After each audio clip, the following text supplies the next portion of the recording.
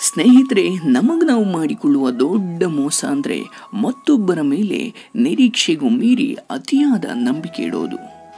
ಹೌದು, ಒಂದು ಮಾತಿದೆ, ಅತಿಯಾದರೆ ಅಮೃತವೂ ಕೂಡ ವಿಷವಾಗುತ್ತಂತೆ. ಎಷ್ಟು ನಿಜ ಅಲ್ವಾ? ನಮಗೆ ತುಪ್ಪ ಇಷ್ಟ ಆಗುತ್ತೆ ಅಂತ ತಟ್ಟೆಯ ತುಂಬ ಬರೀ ತುಪ್ಪವನ್ನೇ ತುಂಬಿಕೊಂಡ್ರೆ ಅದೂ ಕೂಡ ಒಂದು ರೀತಿ ವಿಷವೇ ಸರಿ.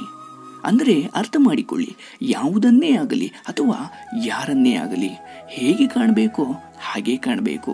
ಕಡಿಮೆ ಆದರೂ ಕಷ್ಟ, ಹಾಗೆ ಅತಿಯಾದರೆ ಇನ್ನೂ ಕಷ್ಟ.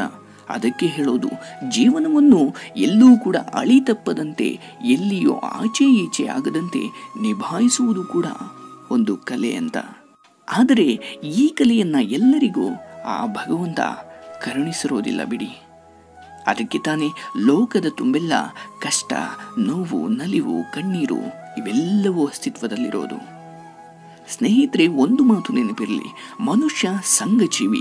ಅವನೆಷ್ಟೇ ಏಕಾಂಗಿಯಾಗಿ ಬದುಕ್ತೀನಿ ಎಂದು ನಿರ್ಧಾರ ಮಾಡಿದ್ರೂ ಕೂಡ ಒಂದಿಲ್ಲ ಒಂದು ರೀತಿಯಲ್ಲಿ ಇನ್ನೊಂದು ಜೀವದ ಅವಶ್ಯಕತೆ ಮನುಷ್ಯನಿಗಿದೆ. ಅವನಿಗೆ ಗೊತ್ತಿದ್ದೋ ಗೊತ್ತಿಲ್ಲದೆಯೋ ಇನ್ನೊಂದು ಜೀವವನ್ನು ನಂಬ್ತಾನೆ, ಇನ್ನೊಂದು ಜೀವವನ್ನು ಬಯಸ್ತಾನೆ. ಆದರೆ ವಿಪರ್ಯಾಸ ಅಂದರೆ ಅವನು ಬಯಸಿದ ಜೀವವೇ, ಅವನು ಇಷ್ಟಪಟ್ಟ ಜೀವವೇ. ಅವನಿಗೆ ನೋವು ಮಾಡುತ್ತೆ. ಬಹುತೇಕ ಸಂಬಂಧಗಳು ಹೇಗೆ ಇರೋದು? ಆದರೆ ಇಲ್ಲಿ ಅವ್ರ ತಪ್ಪು, ಇವರು ತಪ್ಪು ಎಂದು ದೂರುವುದಕ್ಕಿಂತ ಅನುಸರಿಸಿಕೊಂಡು ಹೋಗೋ ಮನಸ್ಸಿರಬೇಕು. ಆಗ ಮಾತ್ರ ಸಂಬಂಧಗಳು ಜೀವಂತವಾಗಿರ್ತವೆ.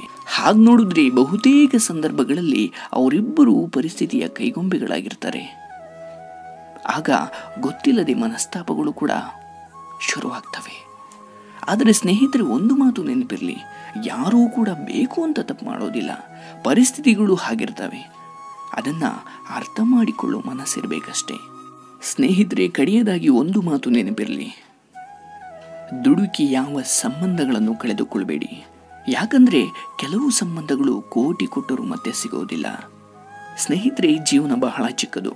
ಆದರೆ ಅರ್ಥ ಮಾಡಿಕೊಂಡು ಬದುಕಿದಾಗ ಜೀವನ ಬಹಳ ದೊಡ್ಡದು.